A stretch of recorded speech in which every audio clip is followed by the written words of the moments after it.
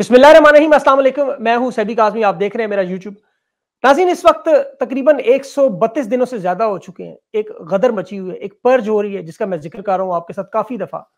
America में आपने बहुत सारी ऐसी फ़िल्में देखी होंगी, हॉलीवुड की, जिसमें 12 घंटे दिए जाते हैं। कि 12 घंटे में आप जो गदर आपने मचानी है, आप मचा लें। जिसको उठाना है, जिसको, जिसके साथ जो सलूक करना है। अबाद फारूक का बेटा, अमार फारूक, उसका आपको पता है, पूरा केस आपको पता है। वो बीमार रहा बेचारा बड़ी अजियत में, वो एक मासूम मैं तो समझता हूँ। पिछले वीलॉग में मैंने तफसील से इसके बारे में बात की है कि उसके स्कूल में बच्चों को दुआ नहीं करने दी जा रही, उसका गायबाना जनाजा नहीं पढ़ने दिया जा रहा। आमतौर पर पाकिस्तान में अगर आप सरकारी इमलाक को, गाड़ियों को नुकसान पहुंचाएँ तो उसकी छह महीने की सजा, ज़्यादा से ज़्यादा। लेकिन यहाँ पर एक मामला ही मुख्तलिफ़ है। उस्मान डार इस वक्त बिल्कुल गायब है, उसका कोई पता नहीं कहाँ है, सिंध से उठाया, सिंध पुलिस नहीं मान रही। सदाकत अब्बासी, इस्लामाबाद पुलिस नहीं मानती, शेख रशीद रावलपिंडी पुलिस नहीं मान रही। इसी तरह जहाँ जहाँ पाकिस्तान में अब एक नया सिलसिला शुरू हो गया मिसिंग पर्सन का, जिसे उठाएँ, गायब कर दें। मामला अब यहाँ तक पहुँच गया, तहरीक इंसाफ के इज्तमाही कलेक्टिव तौर पर यह बात हो रही है कि क्यों ना हम पार्टी के तमाम लोग इकट्ठे एक बार सामने आकर, सबके सामने ये कह दें कि हम लोग मजमुई तौर पर सियासत से जा रहे हैं ताकि हमारे कम अज कम अहल खाना महफूज रहें। इंटरनेशनल दुनिया को इस बात का पता चले कि हम लोग अब सियासत नहीं कर सकते इस मुल्क में। इस मुल्क में जो एक गदर मच चुकी है, और चीफ जस्टिस, आपको पता है, फायज ईसा साहब जब से हैं, लोगों की नज़रें उन पे हैं। अल्लाह जाने करेंगे क्या, फैसले क्या आएँगे, वो तो वक्त ही बताएगा। लेकिन कम अज कम मिसिंग पर्सन के हिसाब से, जो लोग सियासत में इन्वॉल्व है बरह रास्त, अगर उन्हें आप किसी सूरत में कानून के दायरे में लाते हैं, उसके लिए सिलसिला मौजूद है, आप अदालतों में लेके जाते हैं, उनके खिलाफ जो केसेस है, वो सामना करें। लेकिन उनके अहल खाना, उनके घर वालों के साथ जो मामला चल रहे हैं, उनकी वजह से, अभी देखें, अब नन्हे अमार फारूक का जो केस है, ये इस वक्त इंटरनेशनल मीडिया में एक बहुत बड़ा केस बन चुका है। और ये सारे इस बात पे एग्री हैं कि वो जेनी सदमे से वो बच्चा इस दुनिया से गया। और काश के वो सिर्फ़ एक केस होता। अभी मेरे साथ इस वक्त उसामा मौजूद है, राजपूत, ये आपको पता है, पिंडी से इनका ताल्लुक है। और इनके भाई को भी इसी तरह उठाया गया। यही मामला चल रहा है और इनका बच्चा भी तीन साल का उसी अजीत से गुजर रहा है। ये सिलसिला अल्लाह जाने कब खत्म होगा? ये जो काली रात जिसका मैं अक्सर ज़िक्र करता हूँ, उसका जो आखिरी पहर, बड़ा तारीख पहर है जिसके बाद सुबह इंशाल्लाह आनी है। लेकिन इस तारीख पहर में कितने लोग मजीद डूब रहे बात करते हैं उसामा राजपूत से। बहुत बहुत शुक्रिया आपका वक्त देने का। सबसे पहले ये बताएँ कि आप पाकिस्तान में कहाँ से हैं? हमारा रावलपिंडी से ताल्लुक है। तो आपके भाई क्या तरीके इंसाफ के कोई रहनुमा थे वहाँ पे? हाँ जी वो बहुत एक्टिव वर्कर थे पाकिस्तान तरीके इंसाफ के। और इमरान खान के बहुत बड़े फॉलोअर थे मतलब कि हम उसकी अपनी वेलफेयर वगैरह भी थी मतलब वेल फलाई काम भी बहुत करता था। और मेट्रोपॉलिटन में जनरल सेक्रेटरी भी रहा है वो। और अभी भी बहुत एक्टिव वर्कर था इमरान खान का। तो ये जो पहले सबसे बताएँ वैसे एक जाती तौर पे आपसे एक सवाल है। जो वाक्य नौ मई का हुआ आप आपकी उम्र कितनी है? मेरी सताईस साल। माशाल्लाह माशाल्लाह मेच्योर है अभी इतने यंग बच्चे भी नहीं। तो ये नौ मई का वाक्य हुआ इसे कलेक्टिवली तौर पर आप मुजम्मत करते हैं कंडेम करते हैं कि गलत हुआ? हम तो इसे बर रास्त इसको हम फ्रंट फुट पे आके कंडेम करते हैं कि ये तो बहुत गलत वाक्य हुआ है मतलब ये होना ही नहीं चाहिए था। लाइक अब मेरा भाई भी है वो भी इस चीज़ को बहुत कंडेम करता होता था कि ये तो बहुत गलत है कि हमें रियासत के खिलाफ हमें फौज के खिलाफ मतलब कि ये तो एक कभी भी ये चीज़ पसंदीदा चीज़ नहीं है कि ये तो होना ही नहीं चाहिए। हम्म, मतलब पाकिस्तान की फौज से तो आपको कोई मसला नहीं है उनसे तो आप मोहब्बत करते होंगे। ऐसे ही है बिल्कुल हम तो फौज से अपनी मोहब्बत करते हैं बेशक। तगड़ी फौज ज़रूरी है पाकिस्तान की फौज पाकिस्तान का आपको पता सालमियत की जिम्मेदार है। हमारे दिफा तहफ़ की जिम्मेदार है ये तो आप सारी चीज़ें मानते हैं? ये तो चीज़ें हम मानते हैं हमारी फौज है यही हमारे साथ नहीं होंगे या हमारी हिफाजत करने ये नहीं होंगे तो हम तो दुनिया में कहीं के भी जोगे नहीं रहेंगे। मतलब यही है तो हम लोग हैं पाकिस्तान ज़िंदा है और पाइंदाबाद है। बिल्कुल दोस्तों आप ये हैं तो आप हैं मतलब आप हैं तो ये हैं मतलब दोनों। अच्छा बारह ये बताएँ कि अभी जो मामला आपके भाई के साथ हुआ आपके भाई की भी सोच ऐसी थी तो फिर किस तरह उठाया कैसे गया उसे? क्या हुआ क्या ये मामला सारा? कहाँ से जो हमें जो हमें चीज़ समझ आती है वो ये है कि इमरान खान की कॉल पे मेरे भाई ने जेल बरो तारीख में गिरफ्तारी दी थी। तो अच्छा। मुझे लगता है कि उस चीज़ पे वो बहुत हाईलाइट हुआ हुआ था तो इस वजह से जब ये वाकया हुआ उसके बाद उसका नाम ऑलरेडी लिस्ट पे था तो इस वजह से उनको उसको उस बेस पे मेरे हमारे ख्याल से उठाया गया है। क्योंकि अभी तक ना उसको कहीं पेश किया है ना किसी अदालत में पेश किया है उसको मतलब कि हमने रेड भी किया है हालाँकि हाई कोर्ट में तो अच्छा। बस यही हमें पता है कि वो आर्मी के पास है। उसके अलावा हमें कुछ भी नहीं पता उस पर क्या केस है उस पर कौन सी उन्होंने एलिगेशन लगाई है किस उसमें है वो कुछ हमें आइडिया नहीं है अभी तक। मतलब वो मिसिंग पर्सन है इस वक्त? मिसिंग पर्सन है।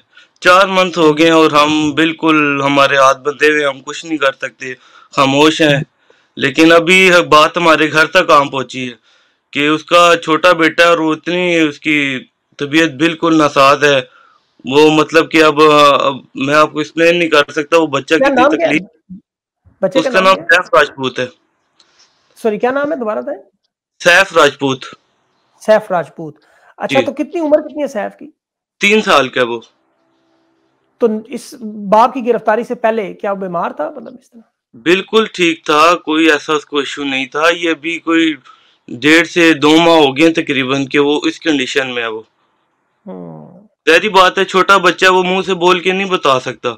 लेकिन उसको समझ आती है चीज़ें फील कर रहा है वो रातों को उठ जाता है रोता है चीखें मारता है मेरे बाबा किधर है? हमने उसे ये बोला हुआ कि वो लाहौर गए हुए आ जाएँगे आ जाएँगे पूछते हैं पापा कब आएँगे? पापा कब आ रहे हैं लाहौर से? मुझे लाहौर ले जाए।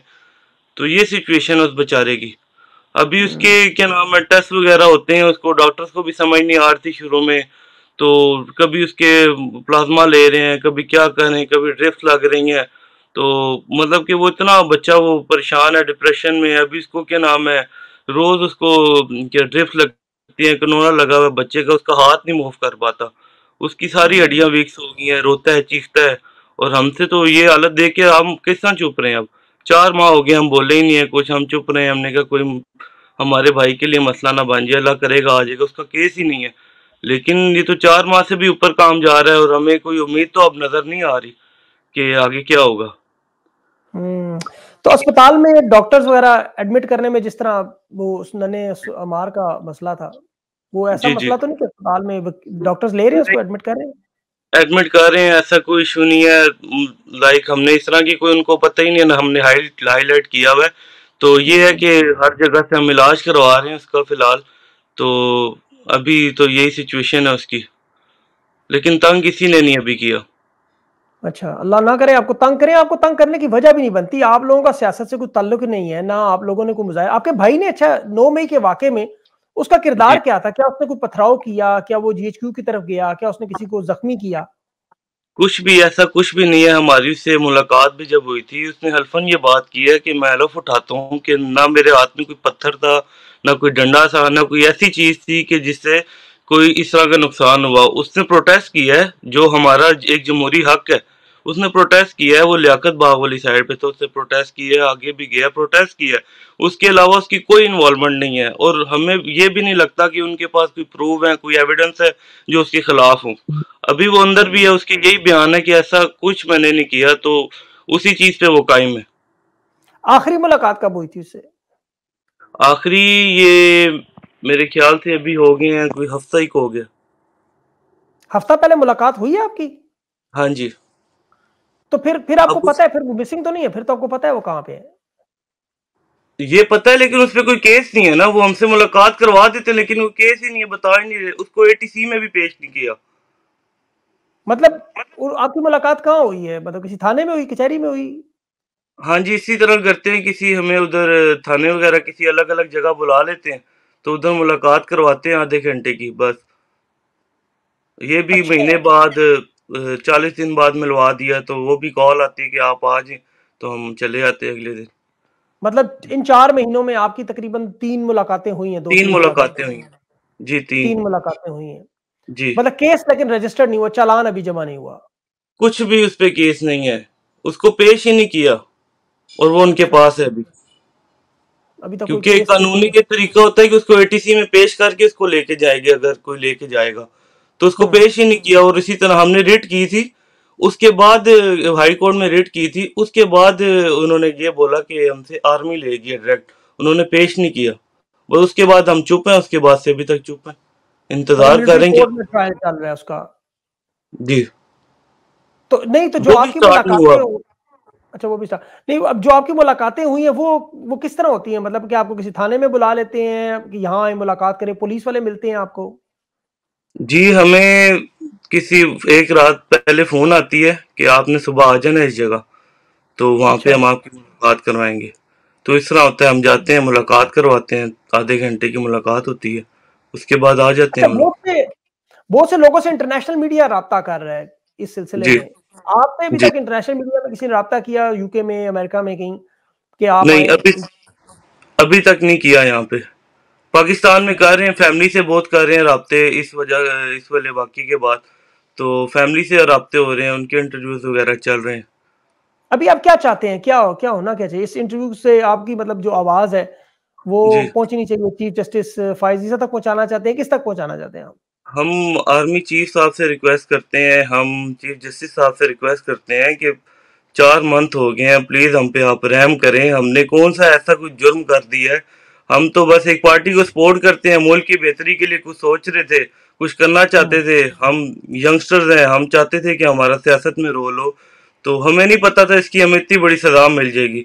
एक तो भाई भी अंदर है फिर उसके घर वालों को भी सजा मिल रही है। उसकी एहलिया भी बीमार है, उसके घर, क्या नाम है, असवद के घर औलाद होने वाली है। तो वो बेचारी इतनी डिप्रेशन में है, हमारा पूरा घर इतना उसमें सोग में है कि हम आपको बता नहीं सकते। तो इतना वक्त हो गया, आप प्लीज़ इस पे एक्शन लें, हमारी आवाज़ उठाएँ। हम नहीं चाहते कि हम इससे ज़्यादा भी चीज़ें फेस करें। हम छोटे बच्चे का हम हम उसकी शक्ल नहीं देख सकते। वो इतना वो बेचारा बीमार है। ठीक है तो ये सब चीज़ें हम चाहते हैं कि हम रिक्वेस्ट करते हैं कि हमें इतनी बड़ी सजा ना दें किसी एक पार्टी को सपोर्ट करने की। तो हम भी आप लोगों के ही हैं। मुझे एक बात बताएँ बड़ी इंपॉर्टेंट बात है। आपके साथ बड़ा जुल्म हो रहा है इस वक्त जो है ना। अल्लाह माफ़ करे मैं मेरे पास तो अल्फाज नहीं है सच आपको बताऊँ। मैं सारा दिन लोगों को बताता रहता हूँ लेकिन ये जो आपके साथ हो रहा है उनकी उसकी मिसेस प्रेग्नेंट है एक और बच्चा आ रहा है जो पहले वाला बच्चा है वो शदीद तरीन इस तरह की हालत में बाप जेल में घर में एक सोग मचा हुआ है। इमरान खान और उसकी पार्टी को इमरान खान को जेल में डाला हुआ है। जी। सारे मामला ज़ाहिर है। इसी वजह से हुए आपको आप इमरान खान को सपोर्ट करते हैं। जी जी। आप लोग क्या अभी भी इमरान खान को सपोर्ट करते हैं? सर हम तो करते हैं। हम इमरान खान को नहीं हम पाकिस्तान को सपोर्ट करते हैं। और हमें लगता है फ़िलहाल इमरान खान ही पाकिस्तान के लिए बेस्ट ऑप्शन है बाकियों में से। तो हम तो उसके साथ अभी भी चलते हैं। और उसके साथ इसलिए चलते हैं कि हम क्या नाम है ए, पाकिस्तान की बेहतरी चाहते हैं। हम अपनी आने वाली नस्ल की बेहतरी चाहते हैं। आमतौर पर देखें जब लोगों के साथ इस तरह के मामला हों तो लोग कहते हैं मेरे ऊपर मुसीबत आई इस वजह से कि मैं इमरान खान के साथ था घर वाले जा रहे इधर उताने देते हैं बोले और जाओ और जलसे करो और उसके पीछे बिरो आपकी क्या हालत है? जहनी तौर पे आपके घर की आप लोगों की क्या आप लोग अभी भी इमरान खान के समझते हैं कि वो हक पे है उसका साथ देने को तैयार है? सर देखें घर वाले तो परेशान होते हैं ना वो फ़िलहाल कहते हैं खामोश हो जाओ छोड़ दो जो है ये वो लेकिन जो हम यूथ है हम नहीं अभी पीछे हो सकते। ठीक है, कुछ बोल नहीं सकते तो हम दिल में तो राय रख सकते हैं ना अपने, या दिल में भी राय नहीं रख सकते, या सोच भी हम खत्म कर दें अपनी, वो तो नहीं हो सकता। एक मतलब कि लाइक डिसलाइक होती है, हमें वो बंदा पसंद है पाकिस्तान के, हमें लगता है कि उसको दर्द दिल रखता है कि वो पाकिस्तान के लिए कुछ कर सकता है। तो मुझे नहीं लगता कि इस पे कोई ऐसा हमने गुनाह हो गया, या ऐसी कोई बात है कि जिसकी हमें इस तरह की सजाएँ मिले, या हमें छोड़ना चाहिए। यही है फिर हम छोड़ के सब बर्त मैं तो बरतानिया आ गया हूँ। सारी मेरी फैमिली भी इधर आ जाए हम छोड़ दें हमारा पाकिस्तान से कोई वास्ता ही ना हो। हम दुख दर्द रखते हैं पाकिस्तान का हम चाहते हैं कि तरक्की करे। हमारा घर है वो हम चाहते हैं हम उधर हम्म। आज़ादी से रहें। तो ये हमारे हकूक हैं ये हमें मिलने चाहिए। बिल्कुल सही बात आपका आईनी जमहूरी हक है आप जिसको मर्ज़ी सपोर्ट करिए अल्लाह उसके रसूल का हुक्म भी है। लेकिन देखें मैं यहाँ पे आपसे ये सवाल इसलिए पूछ रहा था आप लोग इस वक्त बड़ी अजियत में है। मैं आप अंदाज़ा कर सकता हूँ कि मैंने कोई और भी लोगों से बातचीत मेरी होती रहती है जो लोग इस वक्त मुश्किल में है। मैं ये सवाल इसलिए पूछ रहा था कि इस वक्त इंसान के ऊपर सबसे मुश्किल मरहला है आपकी ज़िंदगी का। कि आपके घर का भाई गायब उन्होंने कर दिया बच्चे आपके मतलब इस हालत में आप लोग इस वक्त भी डटे हुए हैं और मैं ये चीज़ जो है इस इंटरव्यू के ज़रिए बताना चाह रहा था मकसद मेरा ये था इस सवाल का कि देखें आप लोगों को नहीं तोड़ सकते। आप यकीन करें कि जुल्म और ताकत से आप लोगों को गायब कर सकते हैं आप उन्हें मार सकते हैं आप उन्हें नहीं तोड़ सकते। ताकत से ये मामला हल नहीं होते ये मजलूम लोग हैं। आपका बहुत बहुत शुक्रिया मैंने आपका वक्त दिया लेकिन मैं आपके ज़रिए भी यही पैगाम पहुंचाना चाहूँ जहाँ जहाँ मेरी आवाज़ पहुंचेगी कि चीफ जस्टिस का, काजी फायज साहब भी सुन रहे हैं और जो बाकी लोग भी हैं वो भी सुन रहे हैं कि इन लोगों का कोई कसूर नहीं है। ये लोग आज भी हक पर अपने आप को समझ रहे हैं और इन्हें लगता है कि ये बिल्कुल दुरुस्त है आयन और कानून इन्हें इजाज़त देता है इस्लाम इन्हें इजाज़त देता है। तो इन्हें मत एक लिमिट है आप उस लिमिट को क्रॉस कर रहे हैं आप इन बेचारों को रेड लाइन बना के तोड़ रहे हैं ये नहीं टूट रहे और ये नहीं टूटेंगे ये हक के साथ खड़े हैं मार दें इन्हें अगवा कर दें जो मर्ज़ी कर दें लेकिन इससे फ़ायदा कोई नहीं होगा नफरत में इजाफा होगा और कुछ भी नहीं होगा। अल्लाह ताला आपकी मुश्किल आसान करे उसामा राजपूत मेरी आपके साथ दुआएँ हैं आप इस वक्त बहुत मुश्किल में और अल्लाह ताला आप जैसे जितने भी लोग इस वक्त मुश्किल में उन सबकी मुश्किल को आसान करें। और यकीन हाँ। करें ये रात का जो पहर है ना ये बड़ा गहरा और बड़ा तारीख और बड़ा डार्क है। लेकिन याद रखें अल्लाह ताला का एक निज़ाम है उसकी एक कुदरत है उसका एक सिस्टम है। जितनी मर्ज़ी ताकत ही इनके पास हो लोग जितना मर्ज़ी जुल्म हो आखिर में अल्लाह ताला जो है उसकी लाठी बे आवाज़ है वो इंसान को लठ नहीं मारता उसकी मत मार देता है। हाँ इंशाल्लाह बेहतरीन होंगी मेरी आपसे दुआएँ। बहुत बहुत शुक्रिया आपने वक्त दिया अपना। उम्मीद है कि लोग आपकी बात सुनेंगे समझेंगे। और हमें एक नया अमार आबाद इनशाला नहीं मिलेगा। आपका भतीजा सैफ अल्लाह उसे भी ज़िंदगी दे आपके जो आने वाला भतीजा भतीजी है उसे भी अल्लाह ज़िंदगी दे और सेहत दे और आपकी जिंदगियों में आसानी लाए। दुआ में याद रखें इनशाला मैं आपसे जुड़ा बहुत शुक्रिया। Thank you so much